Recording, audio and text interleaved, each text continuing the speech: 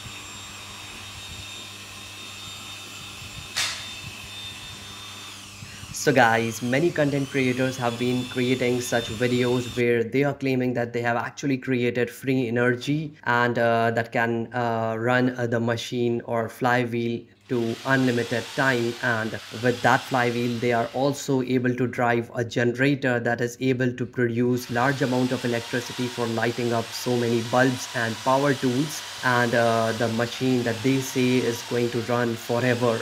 This is what goes in the thumbnail. And uh, the title like running forever or perpetual motion. It is just a scam.